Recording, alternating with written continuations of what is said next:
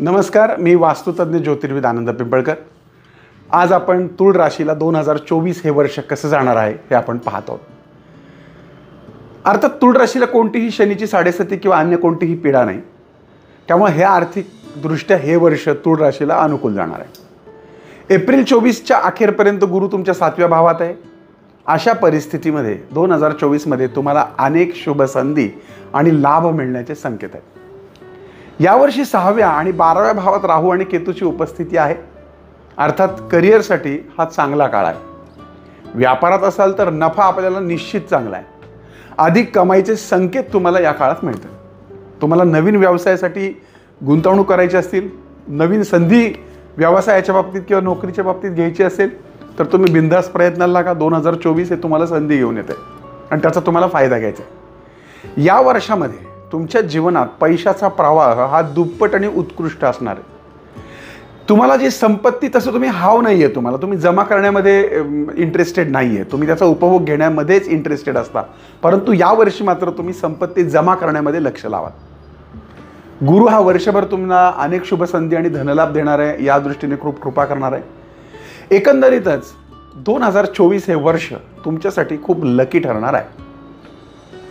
वर्ष भविष्य जर बघितलं तर यावर्षी परदेशी गमनाच्या संधी विद्यार्थ्यांना आपल्या अभ्यासामध्ये समाधान आणि एकंदरीतच तुम्ही ज्यात हात घालाल त्यामध्ये यश देणारा हा पूर्ण वर्षाचा काल आहे. किंबहुना एकोणतीस जून चोवीस ते पंधरा नोव्हेंबर चोवीस या काळातला जो शनी आहे वक्री तो पण तुम्हाला अनुकूल ठरणार आहे.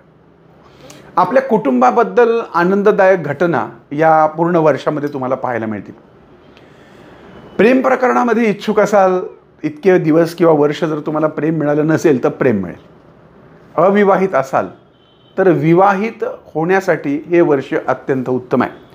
ज्या मंडळींना संतती होत नाही किंवा झालेली नाही किंवा व्हायला त्रास होतो त्यांनी दवा आणि दुवा या दोन्हीचं माध्यम निवडलं तर हे वर्ष संततीच्या दृष्टीने अत्यंत लाभकारी हितकारी आणि आनंददायक ठरेल.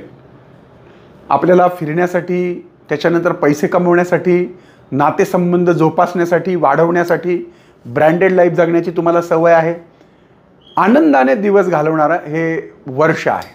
पण अर्थात लक्षात घ्या याच वर्षभरामध्ये तुम्हाला संचयाची देखील आवड निर्माण होणे ती खूप चांगली आहे. मला असं वाटतं की तुम्ही रोजच्या जीवनामध्ये जे गुलाबाचं अत्तर असतं ते गुलाबाचं अत्तर तुम्ही लावत जा किंवा गुलाबा गुलाबाचा स्प्रे तुम्ही तुमच्या अंगावरती स्प्रे करून तुम्ही बाहेर जात जा तुमच्या महत्त्वाच्या कामाला जाताना. त्याचा तुम्हाला चांगला अनुभव येईल. तुळजापूरची जी भवानी माता आहे तिची उपासना करा. घरामध्ये जर तुमच्या मूर्ती असेल ठीक फोटो असेल ठीक नसेल तर हात जोडून मनोमन तुम्ही तुळजापूरच्या आईची उपासना करा. तिची प्रार्थना करा. तुमचं कुळदैवत असेल तर प्रत्यक्ष जा साडी चोळीचा मान तिला द्या. वर्षभरामध्ये दोन तीन वेळा जा तुम्हाला खूप चांगला अनुभव येईल. मुळातच हे वर्ष तुम्हाला चांगलं असल्यामुळं घरामध्ये श्रीयंत्र असेल तर त्याची व्यवस्थित उपासना करा. नसेल तर श्रीयंत्र माझ्याकडनं घ्या. असं नाही माझ्याकडनं कुठून घ्या पण घ्या. त्याचबरोबर कुबेराची उपासना करा. कुबेर देखील तुम्ही तुमच्या घराच्या पैशाच्या कपाटामध्ये ठेवा. हे सगळं करत असताना माझ्या घरामध्ये खूप चांगलं चाललं आहे हे ज्यावेळेस तुम्ही इतरांना सांगता त्यावेळेस त्याची नजर लागण्याची शक्यता देखील असते. त्यामुळं झाकलीमूठ सव्वा लाखाच्या ठेवून जी काही प्रगती करायची ती तुमच्यापुरती मर्यादित ठेवा. वर्षभरामध्ये तुम्हाला जे काही करायचं आहे त्याबद्दल हे तुमच्यापुरतंच मर्यादित ठेवा. बोलण्यापेक्षा करून दाखवा. चांगलं फायद्याचं ठरेल. आता ह्या सगळ्या ज्या राशी आहेत मेषेपासून मीनपर्यंत या लोकांचे स्वभाव कसे असतात? आपल्या घरातही वेगवेगळ्या राशीचे लोक असतात. हे जाणून घेण्यासाठी आपण माझा आलंय माझ्या राशीला हा चित्रपट पहा आणि हा अगदी मोफत आलाय. कुठे आलाय माहिती आहे? ॲमेझॉन प्राईम व्हिडिओवरती. प्राईम व्हिडिओवरती गेलात की तुम्ही आलंय माझ्या राशीला इंग्रजीमध्ये टाईप करा. तुम्हाला तो चित्रपट पाहायला मिळेल. तुमच्याबरोबर तुमच्या घरातल्या सगळ्यांच्या राशी कोणत्या आहेत त्याही माहिती करून घ्या. आणि तुमच्या राशीचं प्रतिनिधित्व कोणत्या मुलांनी किंवा कोणत्याही कलाकारांनी केलं आहे हे मला जरूर सांगा आणि हा चित्रपट तुम्हाला आवडला तर तुम्ही इतरांनाही त्याची लिंक फॉरवर्ड करा.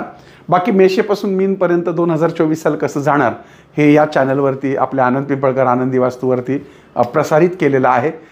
बेल आयकॉनला क्लिक करा सबस्क्राईब करा. अर्थातच तुम्हाला माझे सगळे नोटिफिकेशन्स येतील. पुन्हा भेटूयात पुढच्या राशीसह तोपर्यंत. तुमच्या आनंद पिंपळकरचा तुम्हाला जय साई.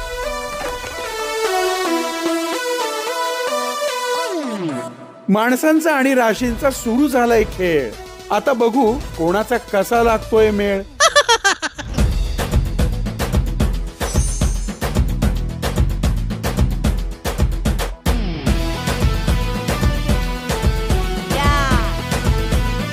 आमचा रुबा अजून तसाच आहे म्हण.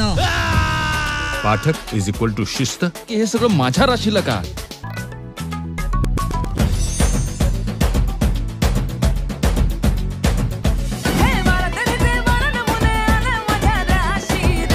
बरोबर. राशीला रे राशीला.